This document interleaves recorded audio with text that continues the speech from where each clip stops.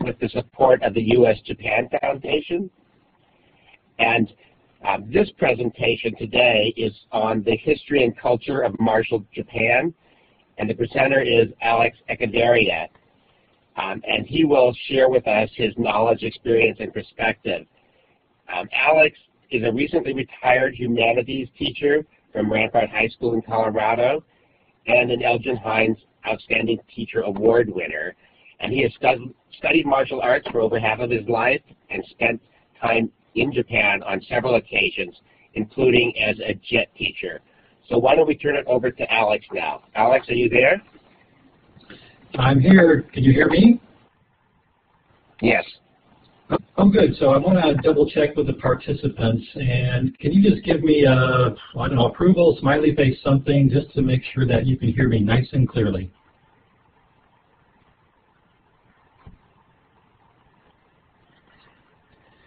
Oh, good. I like that. Lots of smiley faces. Excellent. Good.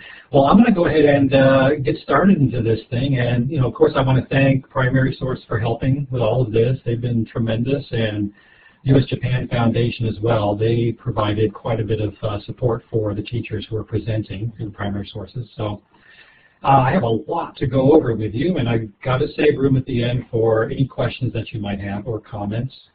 And this is, I just got to tell you, right, this is such a fascinating thing to present. And for many of you who are teachers or you just have an interest in it, um, you're going to find as I walk you through the history that it's something that is very well known out through the entire world. So let's go through. I, I wanted to give you an emphasis. I'm going to start off first with doing a little bit on the samurai. In fact, that's really the main bulk of what I want to do is the early period. But I will get up to the ninja and karate and the martial arts and a few other things. So um, let's get going here. First thing, um, I'm not going to read through everything on here, but I just want to let you take a look at the glossary. Just scan through it and get an idea of one of the first things we're going to start talking about when we look at the samurai.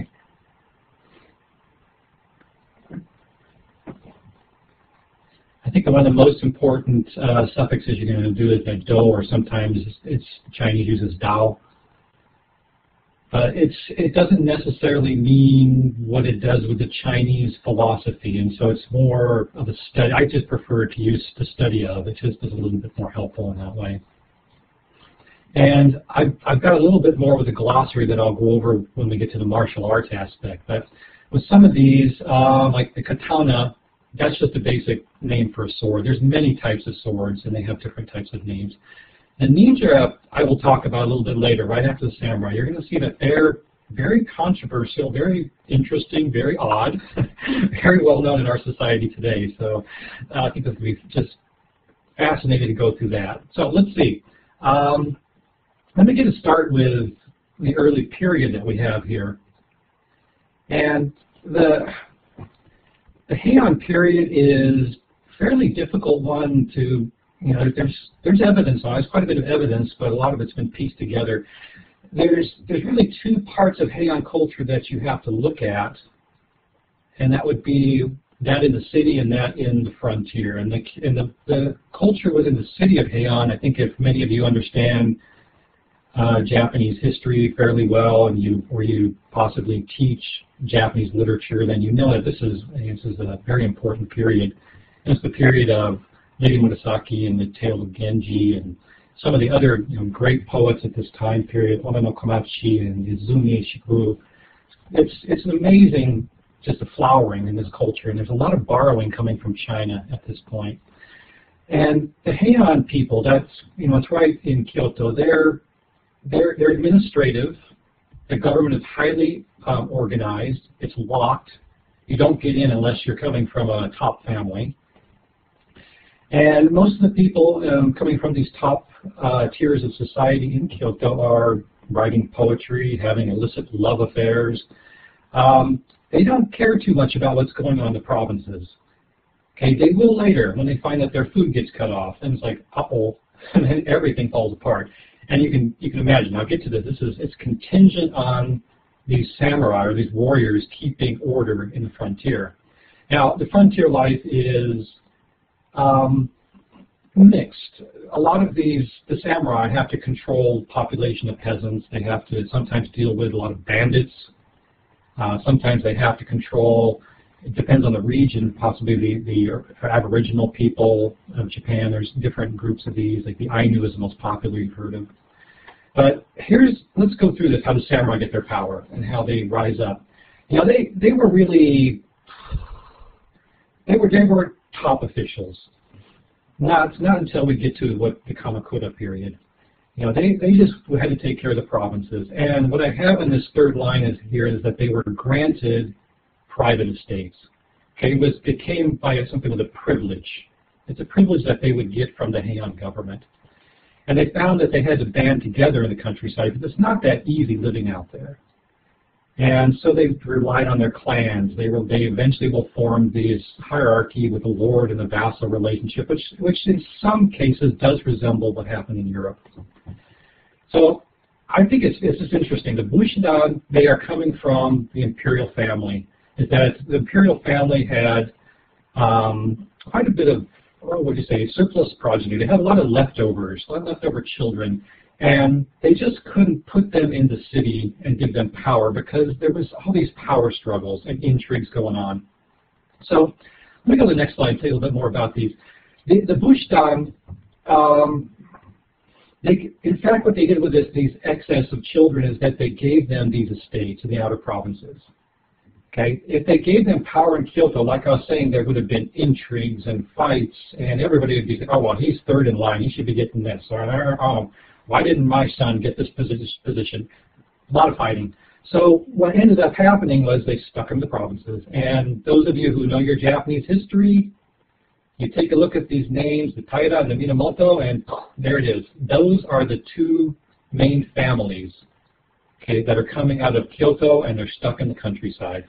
And if you know your Japanese history, these are the two dominant names. And some of you have maybe heard, of course, the name Genji, uh, which is the Minamoto clan as well. Okay, so now they, they didn't get along. They were constantly feuding. They were constantly fighting. Uh, they, they were uh, jockeying for position in Kyoto. They wanted to get someone to take care of them in Kyoto. They had to get uh, someone to sponsor them. It was just kind of a mess. I think that's really the best way to put it. And they fought between each other. Taira and Minamoto did not get along that well, but also they fought within their clans. Now, when it came down to it, the Heian, um, the Heian officials had to settle all these, and I put on here were the settlements fair and just and no, not really. I mean, it, it really depends. They, the Heian officials were equally changing their alliances and shifting. And this didn't make the samurai all that happy or pleased with this. So if you want to know a lot about this, I don't want to get too deeply into the Heian culture and the governing, but I, I did put a, down here the book that you really want to look at. Um, Karl Friday's book. It's very academic, and I did provide um, primary source a list of some resources that they will have for you a little bit later here. But I'll I'll come back. I'm going to talk a little bit more of the uh, Karl Friday's book because I think it's one of the better ones that you could read to learn a lot about the early period. And it was written in contrast to the last samurai. All right, so the next thing. Well, the main thing the samurai do was just keep order. They had to deal with the bandits. They had to deal with uh, making sure that the food lines would stay open, the, the provincial goods. And the Heian people in the city, of course, depended on this. And you got to remember who those states were given to was given to those the leftovers the, from the Taira and the Minamoto. And so they had loyalty to those in the city. Okay, for the meantime. Eventually they get a little bit fed up with the power struggle and the intrigues and everything else. Uh, they also they had to have these patrons, and the patrons in the Heian government, uh, like I was saying, they kept shifting their allegiances. You know, the blood ties sometimes would fall apart, and the samurai were were thrown around a lot in terms of what they should have been doing here. But a lot of them had to be really good socially. They were really good with their military, but when it came down, they had to be just as equally good with their social strategies and how to interact with the people in the city. Now, um, this is something that you're going to see in contrast. If you're going to deal with the people in the city, you might think, well, these are just a bunch of warriors, they're just a bunch of lunkheads, that type of thing. But no, they they they, they were very literate, very they uh, could write poetry. Okay, they knew the culture of the Heian. They came out of those top tier families, so naturally they were educated within uh, those social confines. Um, this is very similar in what you find with China, is that in China there's also this connection between the warrior and the scholar, which is the tradition. I, would say in China it's definitely, it's much more. In China you find a lot more uh, connection to the civil arts as opposed to the martial arts. Japan is, is more of a connection to the martial arts through their history. But in this time period, the Heian period, it was mainly the civil arts. So let's let's go on. Little next thing. Uh, there's a lot of myths. Let me give these myths. I, I've got to dispel a lot of these things. The samurai at this time period did not rely on the sword for their weapon. They really depended on the bow and the arrow. And many of them uh, were on horseback. And at this time period, the armor wasn't as uh, developed as it would be later, especially when you get to the, the Sengoku period or the Warring States period. It was heavy, but most arrows don't go through this armor. It's, it's very um, intricately woven. You can read a lot about on this online. It becomes much lighter as time goes on. But this means if you're riding a horse and you're weighed down by the armor, you're not moving too quickly. and so you can't get off and just fight with a sword because you really can't move that well. And so bow and arrow really was the primary uh, weapon that they used at this time period. So they also didn't have, there's, there's the other myth about the samurai, they didn't go into battle, call out their family names and have a little fights, you know, just with this idea of European chivalry. It wasn't there. They loved ambushes at this time period. They, they wanted to get someone caught, catch them off guard, try to kill them, and then let it all get settled a little bit later through the Heian administration. Then maybe they could take their land or something like that. It was, it was, it was really a mess. There wasn't much bloodshed either. I mean, they, they weren't, they were really good archers, but trying to hit somebody on horseback is not that easy to do. Okay, and another thing with samurai, they could retreat. Retreat would always be an option. Okay, now you hear these myths about the samurai that they'd rather die than retreat. Well, that's that's something that happens when there's no fighting, and I'll, I'll come to that. That's in the, the Edo period or the Tokugawa period. There's also sometimes when you read in the historical records that there's, you know, they met with an army of, you know, 10,000 or, or, you know, 5,000. Really, most of the research is showing that these armies were not even close to that. They were very small. Sometimes they could gather 100 men, and it wasn't anything big. It's not like later, where these armies become massive. It's because they did a lot of recruiting from the peasants to use them as foot soldiers. So let's, let's get into Taira and Minamoto. This, um, these two clans did not get along for a lot of reasons. They were constantly trying to get more land, more privilege. You know, a lot of them felt as if they were outcasts. And one of the, the main ones who got pretty fed up with all this was uh, Taira Masakado. Masakado. He's, he, this is the book that Karl Friday wrote, um, the, the First Samurai. And I, urge you to read this if you have an interest in this early period and I love the story. If you've got students who are just fascinated by this, there's great sources for talking about poor Taira Masakado and his uh, his decapitated head. He led a revolt and he shocked Heian culture. He practically proclaimed himself to be the next emperor, and the people in were just absolutely afraid of this. So eventually he was hunted down. It's a long story, but he was hunted down, decapitated, and, and what happens with this is you're supposed to, it's called buntori, that you, just means taking one's share. You cut off the person's head, and you take it, and it's, it's really proof to collect your bounty, which for a lot of the samurai would be more land, maybe a higher stipend of something.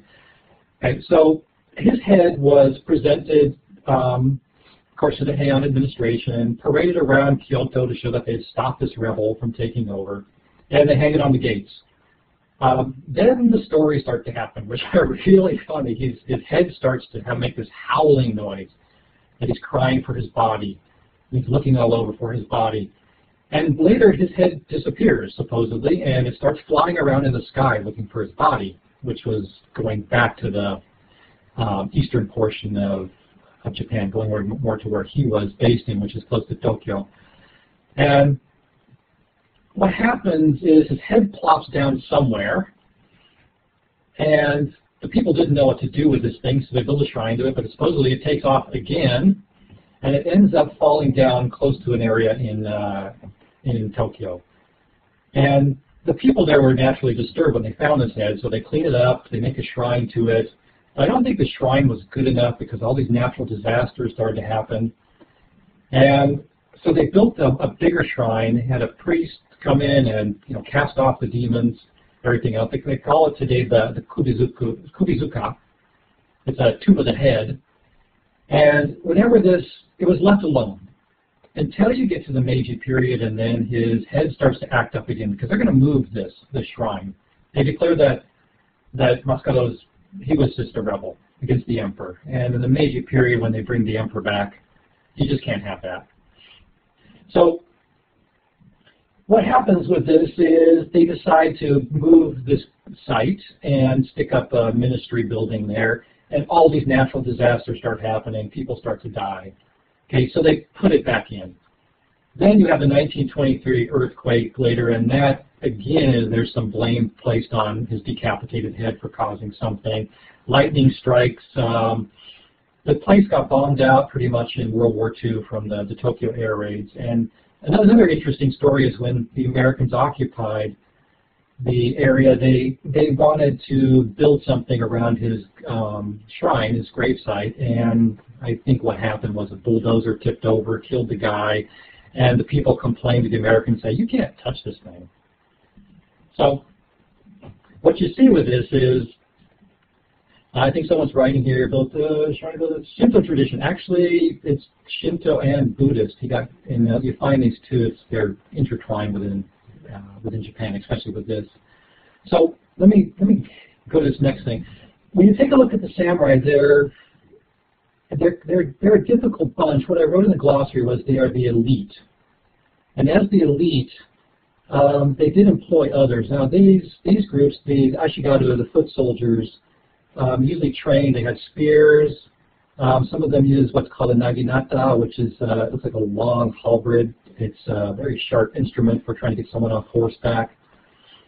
The I think the most interesting one that I wanted to put more time into uh, was the Sohei. Um, these warrior monks, they the warrior monks are an interesting one. They're Buddhist monks that are fanatics. I mean, outright fanatics. And this is happening through throughout the this period of the samurai that they give patronage to one religious sect over the other. And so um, in the Heian period, you find a lot with uh, uh, with the most more, the more esoteric Buddhist groups. But these monks, like you see in the picture to your left here, with uh, Minamoto Yoshitsune and uh, Benkei, it's a very famous story. This comes from a kabuki play and woodblock prints, and you see the guy wrapped in the white there, he's the one who is, um, that, that's Benkei, he's the warrior monk. These, these, these were very fierce uh, warriors to fight, and the samurai didn't like to engage them.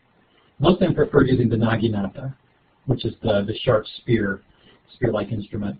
Uh, a lot of them came from the, the, this tradition called the Shugendo or the Yamabushi, which are these mountain um, ascetics. These guys that lived in the mountains and did these pretty horrific trainings to sharpen their bodies up, a lot of deprivation.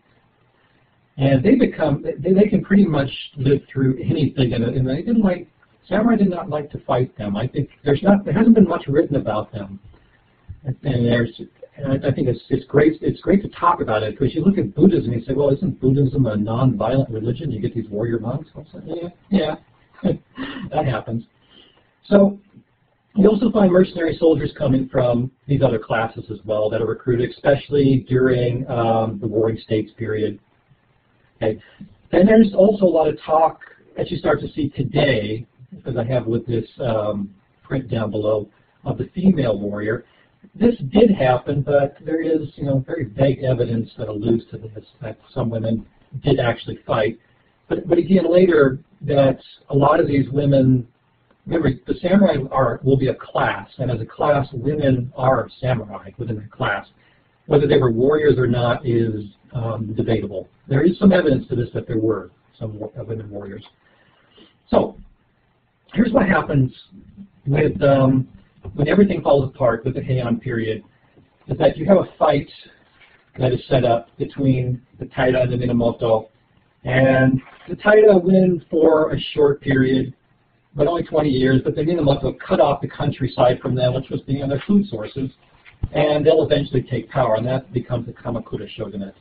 And they decide to move their capital, and the reason they move the capitals around so much um, is that they, they like to they want to get away from the aristocrats for one thing, who want to control everything, and the other one they want to get away from the Buddhist monasteries that had an immense amount of power, and they typically would control uh, the government administration as well. So by moving over there, they broke away from some of the traditional, uh, from Nara and Kyoto, where there was a, uh, quite a bit of power within these Buddhist groups. What happens is they end up taking on um, patronage with Zen Buddhism, which was a little newer um, than other other Buddhist groups. Now, this is where you get a lot of these. Uh, what would you call it? The, I don't know about the mythology, but the, the aspects of the samurai really, if you take a look at the, what makes up the samurai with their virtues, uh, you know, I put on here loyalty, honor, duty, devotion, frugality. That's really coming from the monasteries this idea of living in the moment between life and death and meditation is something that they borrowed really from Zen Buddhism to, to a great degree. And so it wasn't something that the samurai made up. Okay? Um, a lot of them liked Buddhism, but in some cases it was prescribed to them by their clan, so they didn't have a choice with that. Okay.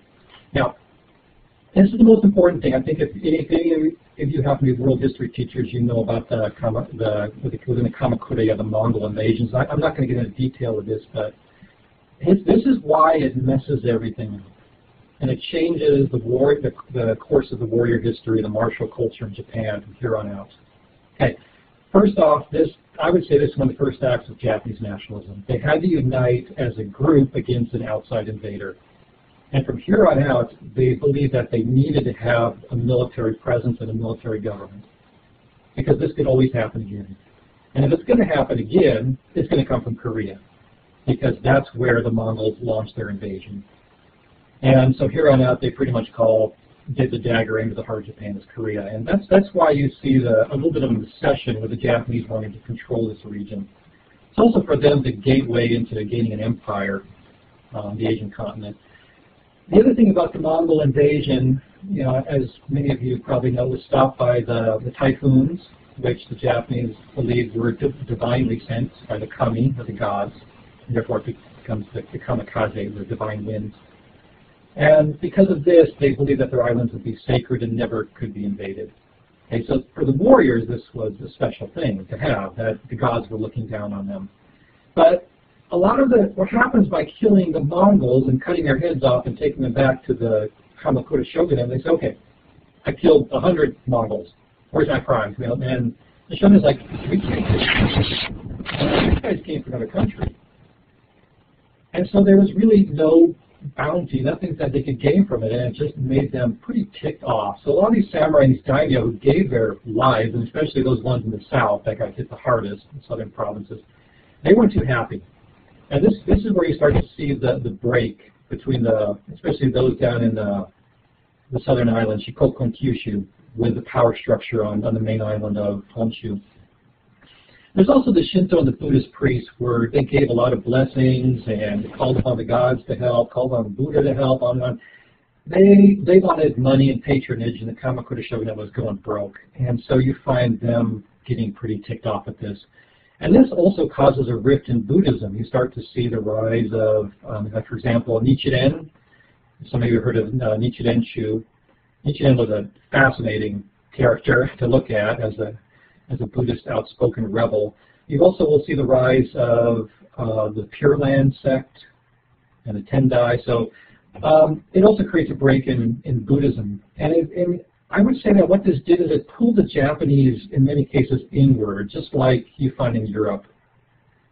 And and there's more there's more emphasis put on a martial culture for a time period. So what happens with this is the Ashikaga shogunate uh, will rise up out of this. The Kamakura were just they were so weakened by this invasion, it just wiped them out.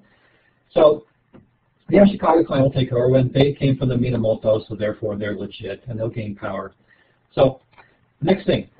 If any of you have been to Kyoto, let, us do a little test with some of you guys who just jumped in. If you've been to Kyoto, how about, oh, raise your hand.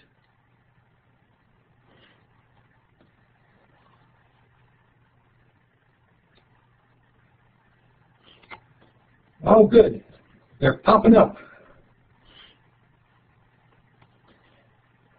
Okay, I got one thing I got to tell you is I think Kyoto is the best city in the world. It's my favorite place to go. It's just amazing. And some of you have been there probably have gone to the Golden Pavilion in this picture. And if you get a chance in the future, go to Kyoto. If you haven't been there, it is it is the best place to go. Best place to travel. Um, the, the, what happened with the Ashikaga is they decided to move it back, okay, closer where the Heian is, and it's kind of the region of Kyoto called Muromachi. So it's sometimes called the Muromachi period, or the Ashikaga shogunate, either one. This government really never did that well. They constantly had problems. They just could not get it together the entire time. You know, it really was a mess. And when the Portuguese enter, um, they're entering to and with the daimyo, which are those lords. Uh, they're split up. They do not want to support this shogunate, especially the ones down south. And that's where you see greater conversions uh, to Christianity. They also introduce firearms, and this is something that will radically change the course of um, warrior culture in Japan. The Japanese were fascinated by the firearms. Now, there's a myth that the Japanese would not use guns, firearms. Um, that's not true at all. They're warriors. They're going to use anything that they can to win with. And they were they were again, fascinated with this new weapon. There, there's a pretty good book on this that I'd recommend. It's called Giving Up the Gun. Uh, Noel Perrin wrote it. I don't think he's an expert on Japan, more on Europe, but it, it's really good. And he said that the Japanese took the gun and did what they do best. They took it apart, they studied it, uh, they machined and made the same parts, then they tried to figure out how to make it better. And they made the gun, according to what Noel Perrin said, much better than the European models. And then they set up mass production. So you guys who know, you know Japan and economics, that's really what they do. They take something, they make it better, and they set up mass production. So um, a lot of the, the daimyo latched onto this and started their own production and started to recruit, especially peasants, to use this. They weren't that effective in the beginning because no one could use them that well. But later, it's, it will be a major problem when we get up to the end of this period here, when we go into the Warring States period. But then the daimyo who are disgruntled, as I said, from the past, will just split. And that's when you go into the Warring States. But uh, Francis Xavier, when he goes in there, I, just, I wanted to throw this in there in case any of you use documents in the classroom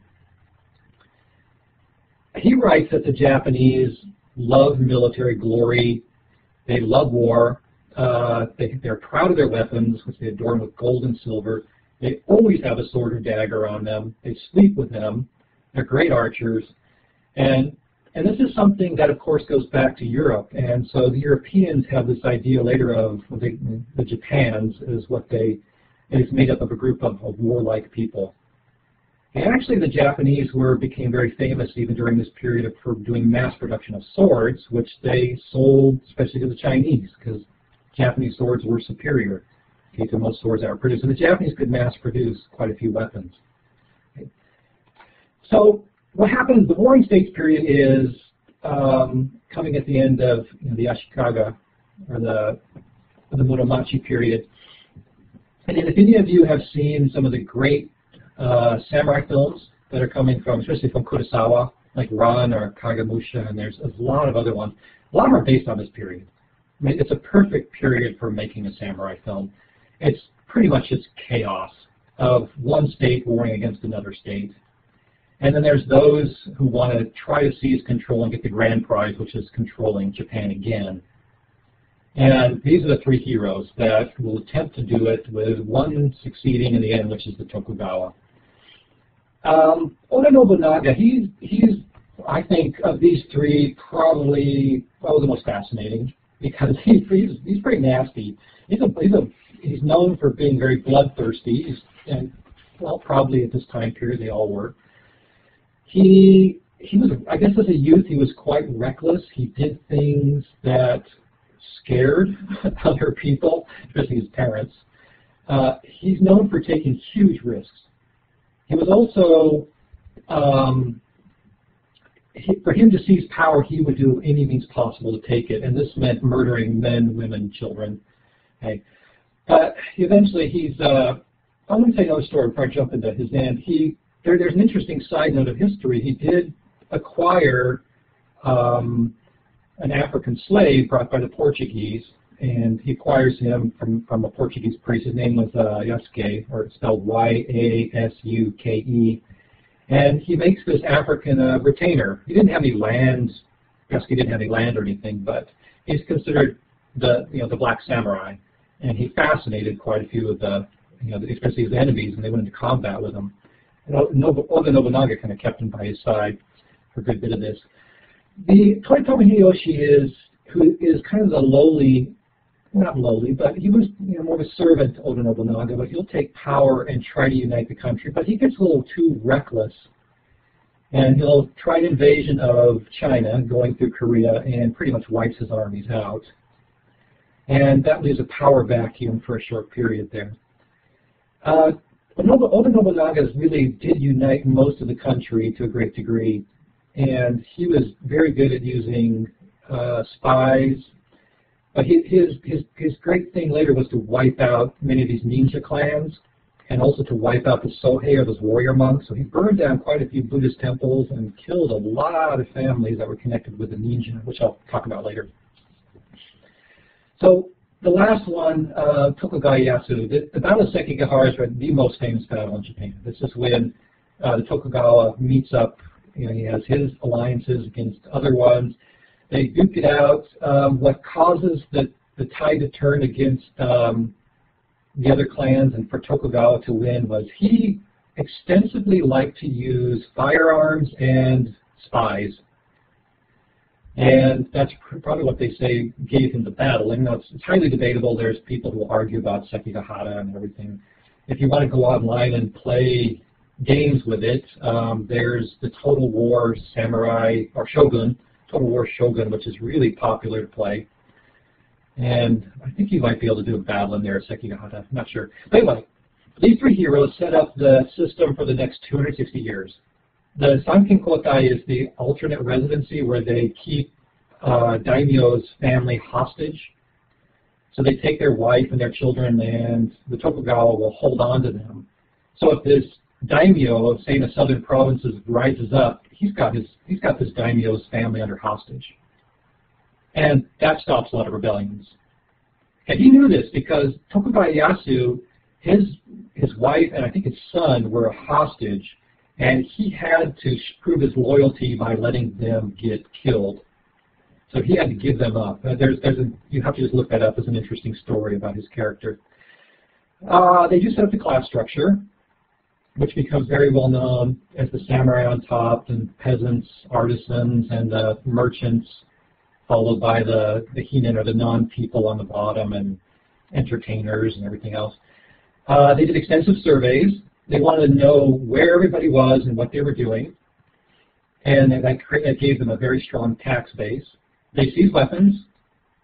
They made sure that nobody could carry a weapon except the elite samurai, which would be their swords. They even went into the Ryukyu Islands down south, which is, you know, most, most people know that through as Okinawa, took away their weapons. Okinawans didn't like this, so they took farm instruments and made them weapons. Like if some of you guys know of the nunchaku or the nunchucks, that's just a farm instrument that's turned into a weapon. Uh, they also took religion and institutionalized it and controlled it so the Buddhists would never have power again, and they had a very authoritarian control of the entire country let me let me go into some of these things because this is this is the most interesting part of what happens with samurai. I think a lot of you have heard of what Americans call hara-kiri, or it's usually would be better pronunciation. Seppuku, the ritual suicide, um, is this disembowelment. Okay, this idea of the samurai always, you know, being prepared for death, being, living in that moment between life and death, is really something that comes about when they didn't have to fight. It's a lot of this is just myth. But what they would do is, um, even in this Warring States period prior to this, they knew their heads might get cut off, so it was known that you have to prepare your head. You had to make your hair up, put perfume on your hair, uh, make sure you have a little makeup on. Um, that, in place they cut your head off, you would still look good when you're dead. So there was this idea that they would die, and so they would prepare for this. There's also this idea of the death poem. Um, my guess is a lot of you have probably seen the movie The Last Samurai with Tom Cruise. Probably so. Uh, there's this whole thing where he's fascinated by wanting, you know, not Tom Cruise, the the main character wants to write his death poem. In reality, you know, a lot of not a lot of samurai had time to do this or think about it. This is something that comes about later in the Tokugawa period. It was mainly Buddhist monks who wrote the death poems. So this is kind of overdone within that film. And the act, the act of the harakiri or the disembowelment was, I think if you've studied this, it's uh, it goes back a little ways. It's kind of foggy as to, as to where it started. I think it started first with a criminal who did himself in. There are a few others followed doing this. Uh, but ideally, what they say is if you if you have an honorable death, you can have a second who will stand behind you. So as you have a small sword, put it in your belly and take it across and up. And as your guts come out, the second behind will cut your head off. If you don't have an honorable death, then they just let you cut your bowels open and until you lie there and slowly die and go into shock. Okay, um, there's a good, one of my favorite samurai movies, which I'll talk about a little later here, is called Harakiri. If you want to see more about this, just watch that. It's, it's a little gruesome, but it's, it's okay. Um, this is something that the Tokugawa don't really get rid of. It does happen, and it's even ordered upon the samurai to keep it. And if you if you heard of the 47 Ronin, which is a very famous story kabuki play and now a movie, um, it's there. And it's something that even in the Meiji period they didn't outlaw it or change it. And you find that even when the Meiji emperor died, some of his generals and admirals did commit seppuku. And probably the last most famous one that I wanted I want to throw in here was with uh, the author Mishima, that he becomes in some cases what uh, I don't know if you could say use the term right-wing fanatic, more of a militarist, but he he does commit harakiri and, have, and he does have his head lobbed off by his second in command. But again, that's I would say just study this. All these things I'm giving you, just go on and take it take it from here and study as much as you can. Let, us go into Tokugawa Shogun. And this this one is, is the oddest one to look at because this is when samurai culture really develops. It's when they're not fighting. They were given administrative duties, and like they just, it's great to say they just drew salaries, not swords. This is when they have the romanticizing of this period, the romanticizing of the samurai. The whole idea of the samurai and his sword as being an extension of his body and his soul is, is made up at this time period. And really, sword fights were illegal. The Tokugawa did not tolerate this. The only way that you could have a duel would have been with a wooden sword and had to be authorized or carried out in a camp or a, a training school. There were those that happened, but if they were caught doing this, the samurai were caught dueling or fighting with swords or pulling them, there's a chance that they would have to commit uh, the ritual suicide or just get executed. Okay. This is also a time period where the samurai were made into the role models it's very Confucian. They were supposed to be, uh, I think the Chinese called a shunzi, uh, like a ideal person, and that's who you should emulate and follow.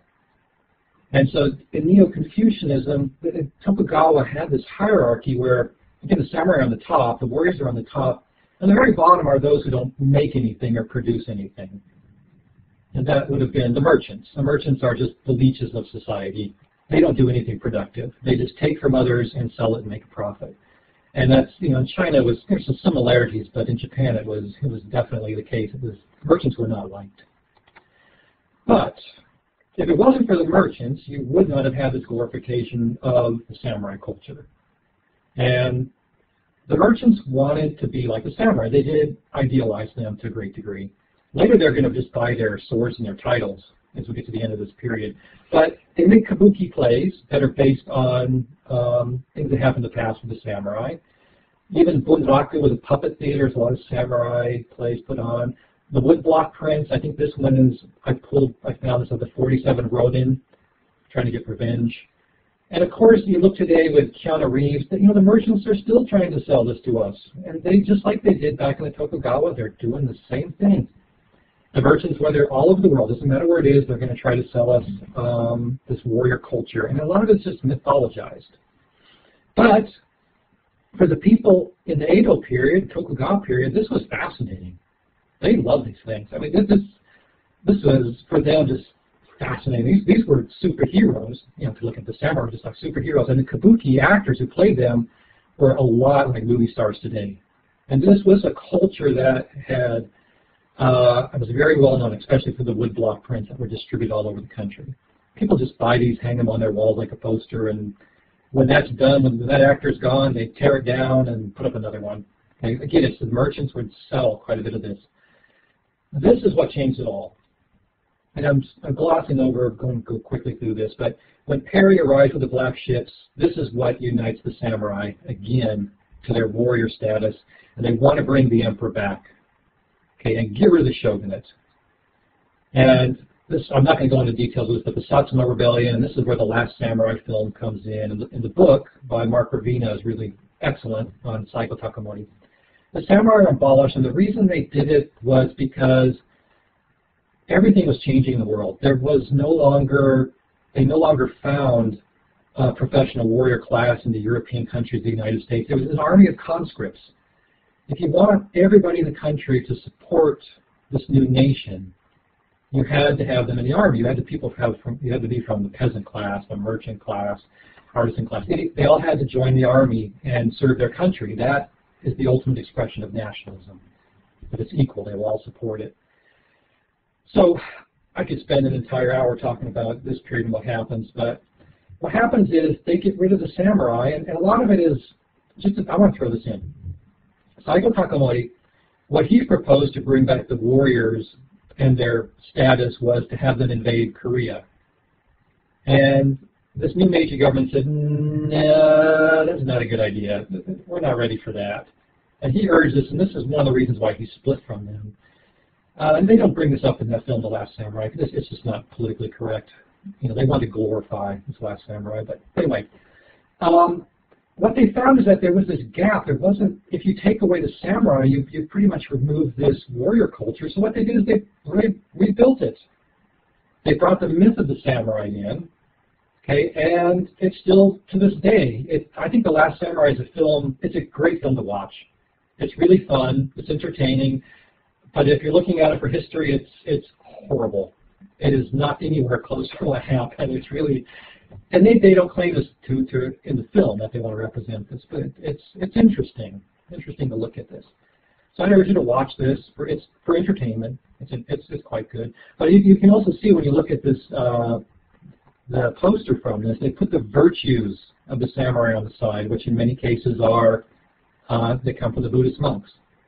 And there's samurai Cruise. He's not the last samurai. It's uh, Katsumoto, the guy, person who plays Katsumoto. Uh, the other thing I, I, would urge you to look at are the three great works on the samurai, the Hagakure, the Book of Five Rings, and Bushido. Look at the date they were published. I think you noticed something. They're all very recent. They're all during the Tokugawa period. And again, mythologizing. The Book of Five Rings, I think, is probably the one that's coming more from the side of an actual fighter. You know, Musashi, Miyamoto Musashi or Musashi Miyamoto is, is the most famous swordsman in Japanese history with wonderful stories. He's been great to use within anime and manga and movies and just on and on and on. So he's, he's a fascinating character. Go go read about him. That's all I can tell you. Uh, this very last book on Bushido was written by, I think, uh, Nazumi He was a doctor, I think, and he wrote it, I think, first in a, for the Western audience and later translated uh, for the Japanese. But again, a lot of these things mythologize at the time period when there was no fighting. And I want to give you this one also. This I, I, used to like to read this to my class when I talked about the rise of nationalism in Japan. This, this was written by uh, Mori Ogai right at the beginning of World War One, of the Great War. And it's these samurai who attack the French and then they're ordered to be to commit seppuku. And as they're committing seppuku in front of the French officers, they, they gladly do it, glaring at the French as they just slit their bellies open and scream at the French that they're willing to die for their country. And again, it's, it's this need to build this idea of what's called kokutai, which is this national essence. I mean, Mori Ogai was trying to say, well, the samurai are part of us. They're part of our culture. And so therefore, let's honor them in a sense. And then it's, it's a fun story to read to your class, especially if you can do a little drama with it, which I like to do. But I put the source down uh, down there. Modern Japan, uh, Huffman's book. It's it's it's got a nice little excerpt in there. So let's let's go ahead and let's finish up the samurai here, so we can get to a couple other things. The imperial rescript to soldiers and sailors is written by the imperial household to ask the soldiers and sailors to be like the samurai, even though they didn't mention the samurai. But again, it's it's reinforcing the warrior culture. And you see it displayed in these the two great wars that the Japanese fight against China, against Russia. There is this samurai culture inherent in there. But There's a lot of backlash to this in the 1920s because the world moves away from militarism after the Great War, and the Japanese are one of the founding members of the League of Nations. They don't want war anymore. But because of the Depression, and the collapse of the economy in Japan, there's a need that Japan thinks they have to have an empire. So in the 1930s, you see militarism come back. And in World War II and the, and the fighting in China by the Japanese uh, military, there is a use and misuse of this culture you know, over and over and over. The officers carry swords. The soldiers are brutalized. Um, uh, there's a lot to write about this, talk about, but well, I'm going to keep moving with this. The, when the United States occupies Japan, they don't allow any of this. They outlaw the martial culture. I think they only, if I remember correctly, they only allow the samurai, they only allow the Japanese to practice judo, which is later why it gets sanctioned as an Olympic sport. But they have to go underground. I mean, these, any feelings you have in the military, you can't talk about them. And the Japanese kind of keep lids on this for a lot of reasons. And then later you see the glorification of the salaryman as the samurai as you get to Japan's rise in the economic day. Um, oh, on the left side, I just want to I want you to take a look at these. This is you guys know the Peach Boy, Momotaro. The picture is of him rising up as a samurai, and he's taken on um, FDR and Churchill. This is a World War II propaganda uh, film. I think this comes from an anime film or possibly just a, a manga. And of course, a lot of these pilots carried samurai swords with them in the cockpit, which you have to scratch your head and say, huh? I mean, what good is that? Again, it, it's symbolic of the warrior, that they would die with their sword.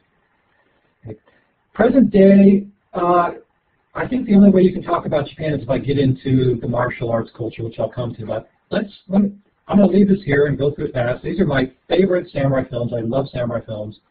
This is one of the great ways to see how it's mythologized, but also have fun with it. I think Seven Samurai is what got me interested in Japan when I was a little boy. So it's still my favorite. But all the other ones, get out there and watch them. If you're a high school teacher, I would say that really none of those top ones will work that well in the classroom. If you want a fun one to show, Samurai Fiction down below is kind of a rock and roll heavy metal samurai film. It's very recent. That's a good one. Uh, Zatoichi is the Blind Swordsman, and Lone Wolf and Cub is it's just that's a that's manga and anime and film. It's it's just, it's fascinating to look at. So have fun uh, have fun with all these. I, I, these are my highly recommended ones. I'd, I'd see how to go with. So we're done with looking at the samurai. We'll, we'll kind of look back at that, but I want to go over the ninja. Alex, I just wanted to say you're going to have to try to go quickly if you want to leave any time for questions and answers. Ah, will do. I'll go really fast to this. The ninja, they are not, they don't dress in black. This is the first image that comes in 1817 of what the ninja look like. And here's what they are. They are spies. First and foremost, the ninja are spies. They're incorporated in schools. And they were incorpor extensively incorporated as spies and as and then later as assassins in the Sengoku period. But most of them were wiped out. So Tokugawa used the spies quite a bit. They're later used during this period um, for police and surveillance work. And I'll, I'll, move on. Later they used the Japanese military used them for the secret police. And not, kind of the aspects of the ninja were used, not so much as the ninja. And of course they're not around after the war because you have nothing with militarism, but they do make a comeback in the 1960s and they get imported to America. And ninja culture is still really strong in Japan, especially with the tourism. I've been down to Iga province, with uh, down to Ueno, which they really, this is their main tourist industry. That the woman you see was dressed in the purple, hiding a sword under the, the uh, floor, that's they have a lot of women dressed up as ninja running around in the town, and of course you name project uh, products after them. It's just endless. Um, they are misrepresented through popular culture, but again, it's the merchants that are selling this to us, and we love it. Okay, it sounds cool. You get a motorcycle called Ninja, it just looks cool. Now, I'm going to zip. I'm going to go through this a little faster. The the martial arts. All I just want to show you again. There's the use of do, which is the study of or the way of. And if you use the term jutsu, it's really just the technique of. So if you heard of jujitsu, it's just the, the yielding technique, which means get them in a wrist lock or an elbow lock or shoulder lock or takedown and they yielded. Okay, and I'll talk about sumo in just a moment here. So again, uh, this will be online so you can look at it. The historical roots of the martial arts, probably they got a lot from China, Korea, Ryukyu Islands. And but you know, sumo is the original martial art. And if you notice on the left of the, the Chinese characters, uh, karate mainly meant the hands from China. Today, you see it as the empty hands. And this came out in the 1920s and 30s with Japanese nationalism. They wanted to show it was truly a Japanese sport or study. And so they kind of dropped the Chinese connotation. Um, but they had to learn the samurai, if you're wounded, you're off your horse, you lost your weapon, you have got to learn how to fight and, and this is where jujitsu comes in. You have to learn how to grapple. Okay, take somebody down. And judo is what evolves from this later, which is kind of the gentle art or yielding way. Okay, and it becomes something that's a formal practice. Karate as a system with the, the black belt, the white belt, and everything in between is, is starts pretty much in the 1920s and 30s. This idea of a belt system is, is very recent.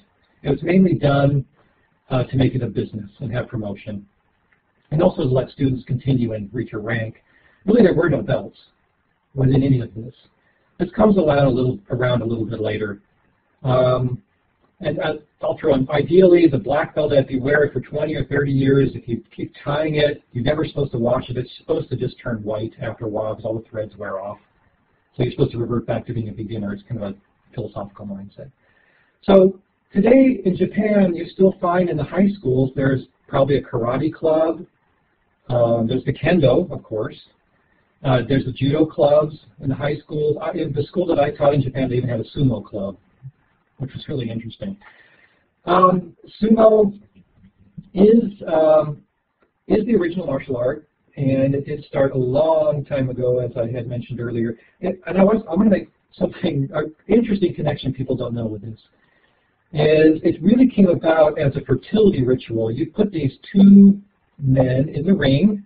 If you notice the ring down the bottom right, it's a it's a mikoshi or a portal shrine above it. But these two men that have these mawashi, these big long things around them with these rice stalks hanging. You see the guys on the left with these blue things that are colored? Just represent a rice stalk.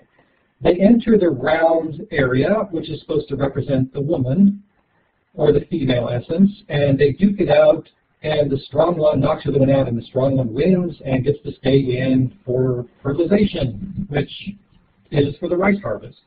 And this was the will they were trying to show, is this connection, for their, therefore it becomes very Shinto. Most people don't know this about sumo, that it was just fertility ritual. Uh, it was shown to Commodore Perry, and they thought it was fairly vulgar and strange. and today it's just it's a huge sport in Japan. And I've been to some of the sumo matches, and they're, they're just fun. They're just really fun to watch. So I went through a little bit quickly at the end because I want to get to some questions here. But if you everything I'm giving you, you see this wherever you look, you see this culture. It seems to be everywhere. Samurai, ninja, bushido. You look, look at the Olympics. You've got judo. You look at Kill Bill. You look at the film industry. This is heavily marketed to us everywhere. So I'm going to stop there, and I will turn it to Jing Jing or Peter. And do you want to help moderate? We'll get some sure. Let's take in? about five. I know we're already at, at, at eight, so I know if you have to go, you can, of course. But let's take a few minutes. You can either raise your hand if you have a question, or type it in, and we'll let Alex uh, um, answer them. Um, do, do, you, do, people have questions? Please push the hand button here, and and we'll call on you and you can open your mic.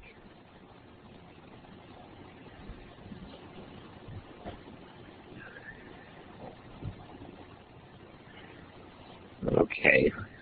I don't see who that is, but who, who raised their hand? Somebody? You want to open um, your mic? Thomas, I, I see you you raised your hand. Um, do you want to use your mic?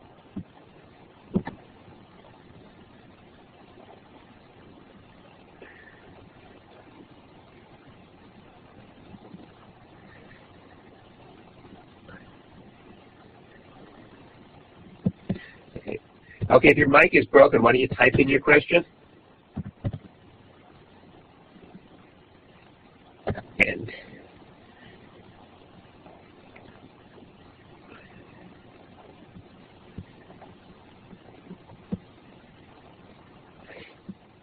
people were asking about all the movies while you were talking there, Alex, but I'm sure we can uh, send out a list afterwards with the that you created. So hopefully everyone, plus they'll have access to the PowerPoint. Yeah, yeah, I, I would say with the films and the questions about uh, Musashi, Miyamoto Musashi, there's a lot of films made on, on him, especially in Japan. Did you see Um, the question in the chat box there, no, Alex? Yes, Okay. yes. Yeah, um, I was, is there anything you can tell us about Miyamoto Musashi? Oh, there is so much that you can go over. There are so many stories. Um, he was well known, of course, as the premier swordsman of Japan, and he fought many different duels. Um, some of these duels, of course, they would have been illegal because he wasn't allowed to fight them. But there's something within the tradition of martial arts is you try to better somebody else. You have to go into their dojo or their training hall and announce your presence and take them on in a match. Well, Miyamoto Musashi was not one really for staying in a dojo too long and hanging around, so you had to hunt this guy down. And so a lot of the sword fights were in some cases illegal because they used real swords, and they did fight. Musashi did kill others, but he mainly fought with a wooden sword. And a wooden sword is, is still going to kill you or seriously maim you, which he did. He maimed quite a few of his, his opponents. Um, I think he beat one with a, a row or a paddle. There's, I, there's so many great stories that I could give you on him, but I would say read the Book of Five Rings. That's he talks all about how to cut you up in little pieces and the different strokes of samurai and the connection between um, the mind and the body and the philosophy. I think it's a, it's a great book and it's a classic for a lot of martial artists at this time. Um, Alex, I was wondering if you could just talk a little bit about when you were in the classroom, um, how you you use this uh, topic to engage your students. Oh, sure. Um, one of the, I did teach um, an Asian studies class for a long time, so I used a lot of these things that are in here to talk about the samurai. Uh, later, most of the teaching I did was through the International Baccalaureate, and the region I taught was on uh, Asia. So the main focus was on Japan and, and its empire building, pretty much from 1800 to the present day. And I really wanted to show the connection of how Japan has had this warrior tradition and the need to make it fit with the, the constant changes that are thrown at it, especially the threat from the outside with nationalism, whether it's the, the Chinese, the Russians, uh, the Americans, the British, the Dutch. Uh, there was always this threat and the need for the martial culture until it wasn't allowed anymore. And that's um, what I actually wrote my master's degree work on was um, how SCAP, the United States authorities, went in to separate uh, religion um, out of um, out of the culture of Japan, how they wanted to change that, and that, that did affect the martial culture as well. So there, there is, for you to teach um, anything on Japan, whether it's in history or the language, uh, you kind of throw these things in. I just think they're, they're vital to understanding the Japanese. I'd say the Japanese today still have a very martial culture.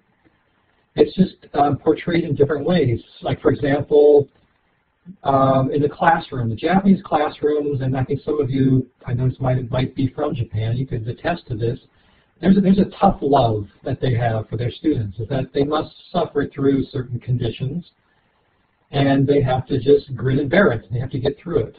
And in some cases, I find this part of the martial culture, whether it's wearing the school uniform or uh, other aspects. They, they, they have taken away the beating of students, which is something that lingered for a while. But again, it was this tough love that you find there.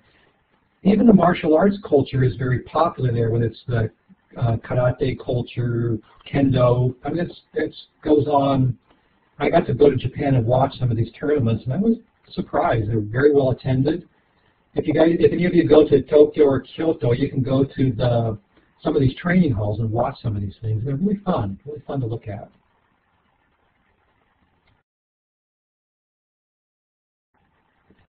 Yes, go ahead and type in any further questions or click on and I can turn it over to Peter to moderate. Okay, if there no, are there any more questions or shall I, uh, we'll give you one second to raise your hand if you want or I can, well I do really want to thank um, Alex, it's been a really informative uh, presentations and we will put it all, um, you know, we'll send out a recording to everybody so you can have both the images and also the uh, Alex's voice. And I also want to thank the U.S.-Japan Foundation, and we'll also send out to you the uh, the bibliography, which includes uh, films, so that you'll have uh, some suggestions for following up on what Alex has presented today. I hope that you all will consider joining us again on March 26th when we have a session on the shrinking population, Japan demographic challenges, which will be led by Kathy Croft, who is a history teacher at the American School in Tokyo. And um, if you have time, I, I um, encourage you to look at the primary source website. There's lots of resources on East Asia as well as um, bibliographies and uh, and also if you have questions that you want um, you know answered, you're always welcome to email me at peter at primarysource.org. So I hope I get to have you um, here again to talk more on the 26th. And thank you very much. And bye now.